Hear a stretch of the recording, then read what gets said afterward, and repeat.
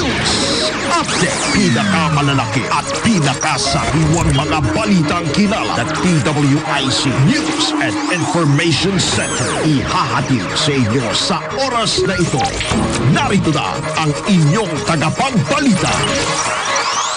Magandang gabi, Luzon, Visayas at Mindanao. Ako po ang inyong magiging tagapagbalita. Ako po si Rashid Loksin. News, News Update. At narito na ang headlines para sa news update araw ng Biyernes, August 19, 2022. News, News Update. Dalawang karagdagang kaso ng monkeypox na itala sa bansa. PBBM nakatakdang mag-state visit sa Indonesia at Singapore sa susunod na buwan. Mga paaralan handa na sa face-to-face classes, shortage sa mga classroom posible. Mga supermarkets pumayag ng ibaba ang presyo sa kada kilo ng asukal. Taas presyo sa produktong petrolyo asahan na sa susunod na linggo. Balita sa iba yung dagat paggamit sa French Valvina vaccine inirerekomenda ng WHO. At balitang pampalakasan, Chot Reyes mawawala sa dalawang laro ng TNT Tropang Giga. News, News Update. At para sa detalye ng ating mga nagbabagang balita, nakapagtala ang Pilipinas ng karagdagang dalawang kaso ng monkeypox virus. Ayon kay DOH Officer in Charge Maria Rosario Vergere, ang mga bagong kaso ay nasa edad 34 at 29 na may travel history sa mga bansang may kumpirmadong kaso ng monkeypox. Anya nagpositibo ang mga ito kahapon at ngayong araw. Dagdag ni Vergere, nagsasagawa na ang kagawaran ng contact tracing. Matatanda ang inanunsyo ang unang kaso noong July 29 kung saan nakita ito sa isang Pinoy na umuwi ng bansa. Posibleng maramdaman ang resulta ng pagbubukas ng ekonomiya mula sa epekto ng COVID-19 pandemic sa susunod na taon. Ito ang inihayag ni National Economic and Development Authority o NEDA Undersecretary Rosemary Adelion. Kung magtutuloy-tuloy pa ang recovery ng bansa, aasahan sa susunod na taon ang epekto nito. Anya ngayon pa lamang 2022 ay nakabalik na sa pre-COVID levels ang Pilipinas. Kailangan na lamang anya na paigtingin pa ang nararanasan na paglago sa ekonomiya. News, News Update. Kinumpirma naman ng Malacanang na magsasagawa ng state visit si Pangulong Ferdinand Bongbong Marcos Jr. sa mga bansang Indonesia at Singapore sa susunod na buwan o sa Setyembre. Ayon kay Press Secretary Trixie Cruz Angeles, unang bibisitahin ni Pangulong Marcos ang Indonesia mula September 4 hanggang 6 at isusunod naman ang Singapore mula September 6 hanggang 7, 2022. Anya tinanggap din ng punong ehekutibo ang imbitasyon ni US President Joe Biden para bisitahin ang Washington. Samantala wala pang eksaktong petsa ang nakatakda para sa pagbisita ng Pangulo sa Washington. Magkakaroon na ng pagbagsak presyo sa kada kilo ng asukal sa mga supermarket. Ito ay matapos makipag-usap na ni Executive Secretary Victor Rodriguez sa mga may-ari ng malalaking mall at mga kilala ring mga supermarket. Mula sa siyam na po hanggang isandaan at sampu sa kada kilo ng ng asukal, pumayag ang malalaking supermarket na ibaba ito sa 70 pesos kada kilo. Ang mga supermarket na pumayag ay ang Robinson Supermarket, SM Supermarket, Pure Gold Supermarket at SNRM membership shopping. Kaugnay nito ay pinuri naman ng Malacanang o ni President Ferdinand Bongbong Marcos Jr. ang sakripisyo ng mga negosyante na isinasantabi muna ang kanilang kita alang-ala sa publiko. Siniguro ng Department of Trade and Industry o DTI na pag-aaralan nilang mabuti ang hiling na taas presyo sa tinapay. Sinabi ni DTI Assistant Secretary Ann Claire Cabutsan, sa ngayon ay wala pa silang natatanggap na panibagong request para sa taas presyo mula sa mga bakery. Pero anya, ma- Mayo pa lamang ay bumababa na ang presyo ng trigo na ginagawang harina kung saan ito ang pangunahing sangkap sa paggawa ng tinapay.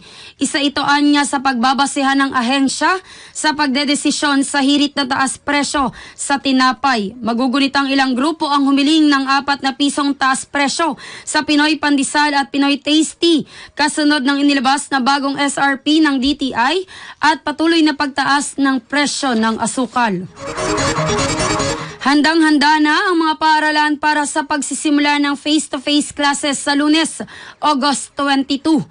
Ayon kay Department of Education o DepEd spokesperson Michael Powa, nagrepresent anya, nagpresent anya ang bawat regional director ng mapping na ginawa nila sa mga lugar sa paaralan. Maliban dito, tiwalaan niya ang mga ito na sapat ang mga pasilidad para sa mga estudyante sa pasukan. Dagdag pa ni POA na magpapatupad sila ng mga estratehiya tulad ng blended learning para sa mga lugar na walang sapat na silid, aralan o upuan.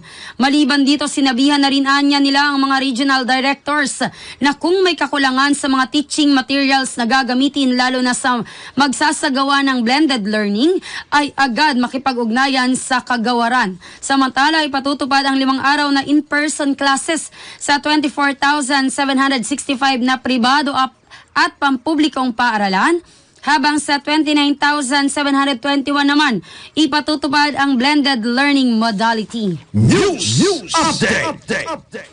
Samantala sa iba pang balita, gumagawa na ng paraan ang Department of Transportation o DOTR para matugunan ang pagkukulang ng supply ng beef card. Ito ay sa harap ng nararanasang pandaigdigang pagkukulang sa produksyon ng chip na ginagamit sa paggawa ng stored value card. Nagbigay na rin ng abiso ang beef card provider na hindi na nito kakayaning i-deliver ang 75,000 stored value card para sa pangangailangan ng MRT3 para sa buwan ng Hulyo. Dahil dito inatasan na ni DOTR Secretary Jaime Bautista ang mga public transport operator ng mga tren na gumawa ng alter, alternatibong hakbang sa pagkontrol ng pag-i-issue ng uh, beep card. Samantala, nakaamba na namang tumaas ang presyo ng produktong petrolyo sa susunod na linggo. Ito ay matapos ang pitong linggong sunod-sunod na rollback sa presyo ng langis. Ayon sa Department of Energy o DOE, Oil Industry Management Bureau. Tinatayang nasa higit dalawang piso ang posibleng dagdag sa presyo sa kada litro ng diesel at kerosene habang nasa dalawang 25 sentimo naman ang dagdag presyo sa kada litro ng gasolina. Paliwanag ng ahensya, lumaki ang pagbaba sa inventaryo ng krudo ng United States habang ramdam pa rin ang kakulangan sa supply ng petrolyo dahil sa tensyon sa pagitan pa rin ng Russia at Ukraine. News, News Update. Balita sa ibang bansa. At balita sa iba yung dagat, inirerekomenda ng World Health Organization o WHO ang paggamit ng COVID-19 vaccine mula sa French drug maker na Valneva. Ayon sa WHO na maaari din itong magamit bilang second booster dose sa mga individual na mayroong mataas na severe diseases. Paglilinaw naman ng WHO na hindi pa nila ito inirekomenda na iturok sa lahat ng mga adults at ang tanging layo nito ay para maiwasan ang pagkakamatay dahil sa nasabing sakit. Isinagawa ang rekomendasyon matapos ang ginawang Strategic Advisory Group of Experts on Immunization noong nakaraang linggo.